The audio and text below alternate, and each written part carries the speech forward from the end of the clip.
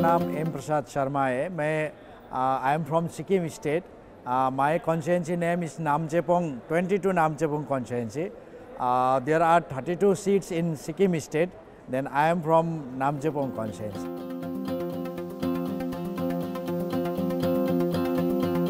अभी तो जो रोड कनेक्टिविटी है वो पुअर कनेक्टिविटी था जब मैं एमएलए नहीं था उस टाइम में।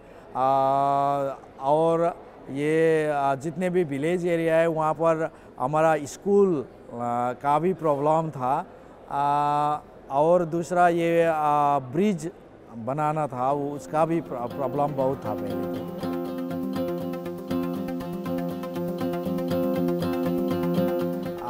ये जो नेशनल लेजिस्लेचर मीट किया हुआ है। ये बहुत ही अच्छा है, क्योंकि यहाँ पर करीब करीब 2000 से 2100 तक एमएलए यहाँ पर एकत्र हुए हैं। ये सारे भारत के विभिन्न स्टेट से और जहाँ पर भी हम बैठे हुए होटल में डिफरेंट स्टेट के एमएलएज है, और उनके साथ भी हमारे बात हो रहे हैं। और यहाँ पर भी जिस प्रकार से हमको सीखने को मिल रहा है हम योंग है और पहली बार एमएलए हुए हैं और हम लोगों को सीनियर्स जैसे कि सुमित्रा महाजन जी ने अभी अभी मैंने सुनकर आया हूँ कि वो एट टाइम्स एमपी बनी हुई है। तो उन लोगों से बहुत कुछ सीखने को मिलता है हम लोग हम जैसे लोगों के लिए।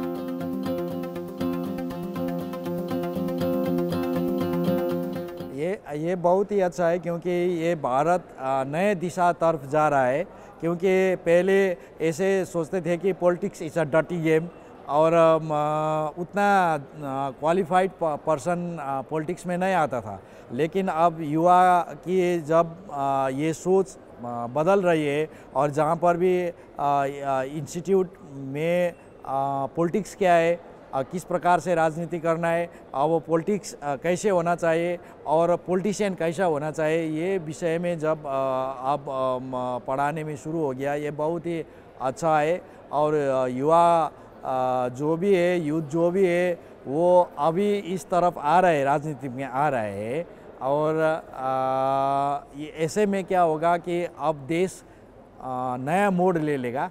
और नए दिशा में अब यूथ काम करने लगेंगे और हमारे भारत विश्व में एक पहचान ज़रूर बनाएगा।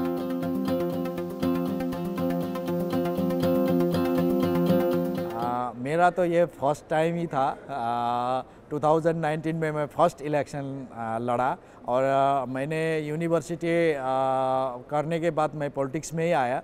सीधे पॉलिटिक्स में आने के बाद मैंने छः वर्ष तक एक कार्यकर्ता के रूप में काम किया रीजनल पार्टी में और उसके बाद टिकट मिल गए और मैं चार वर्ष हो गया मैं एमएलए हूँ और अब मेरा कॉन्स्टिट्यूंसी का लोग और जो भी दूसरे लोग हैं क्योंकि यंग पीपल जब भी पॉलिटिक्स में आ रहे हैं वो देख रहे हैं कि अब यंग पीपल कुछ कर सकता है जो वो बोलता है वो करके दिखाता है ऐसे सोच लोगों में धीरे धीरे आ रहे हैं।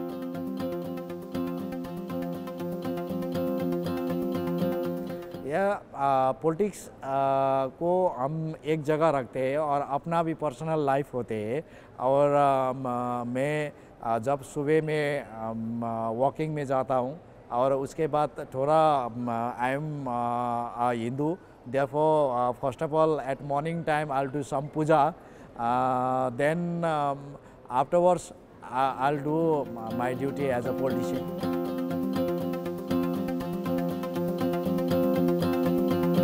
ये प्राइवेट लाइफ एक तरफ़ होता है और जो पब्लिक के साथ कंसर्न रहना, क्योंकि हम सिक्किम से बिलोंग करते हैं और हमारा लोग क्या होता है कि डे टू डे टच में रहना चाहता है एमएलए के साथ। और चाहते हैं कि एमएलए कॉन्स्टिट्यूंसी में ही रहे। और आ, मैं अपने कॉन्स्टिटेंसी में ही रहता हूँ और आ, देखता हूँ कि पब्लिक का इसमें रिएक्शन भी अच्छा रहता है और उसके साथ साथ मैं अपने प्राइवेट लाइफ के लिए कम से कम हफ़्ते में एक दिन तो मैं परिवार के लिए दे देता हूँ।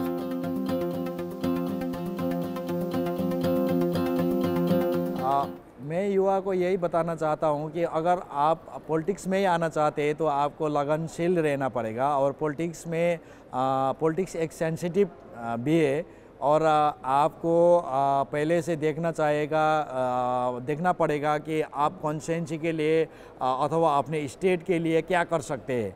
और किस प्रकार से उस कॉन्स्टेंसी में काम हुआ या नहीं हुआ, आपके विचार में आप किस प्रकार के एजेंडा लेकर आना चाहते हैं और यूथ को फोकस अपनी तरफ़ कैसे कर सकते हो? और वो काम अगर स्टेट लिस्ट में है तो मैं कर सकता हूँ, ऐसे बोलना चाहिए। नहीं तो ये सेंटर इश्यू है, ऐसा भी बोलना चाहिए, क्योंकि पॉलिटिक्स को सभी लोग क्या सोचते हैं कि, युवा लोग क्या सोचते हैं कि वो जो भी politics politician make a bridge on a barrel land ऐसे बोलता थे। लेकिन हम लोगों को ऐसा नहीं करना चाहिए। जो काम हम कर सकते हैं, वो पब्लिक को बताना चाहिए और जो भी पॉलिटिक्स में आना चाहते हैं, उनको मैं एक ही बात कहना चाहता हूँ कि कि वो किसी भी फ़ील्ड से आए और किसी भी स्तर से आए, वो मीडियम फैमिली से आए और अपर से आए या लोअर से आए, वो सबको पब्लिक के साथ टच रहना चाहिए। वो पैसा मैंने नहीं रखता है। और वो अगर पब्लिक के साथ टच हो गया और उनके सेंटिमेंट को वो टच कर गए, उनके भावना उनके बातों में अगर दम है तो वो पॉलिटिक्स में सब बहुत बहुत कुछ कर सकते हैं। अब लेकिन भारत के सभी स्टेट में मैं देखता हूँ कि अभी आ, क्या होगा कि ओल्डन टाइम में पॉलिटिक्स में आ, पा, उसके पास पैसा होना चाहिए ऐसा बोलते थे। और मसल पावर भी होना चाहिए ऐसा बोलते थे। लेकिन अब नॉलेज होना चाहिए पॉलिटिक्स में आने के लिए। उनके पास न्यू इनोवेटिव आइडियाज़ होना चाहिए। अपने कॉन्स्टेंसी के लिए अपने स्टेट के लिए अपने देश के लिए क्या कर सकते हैं? इसमें वो फोकस करे तो बहुत आगे बढ़ सकता है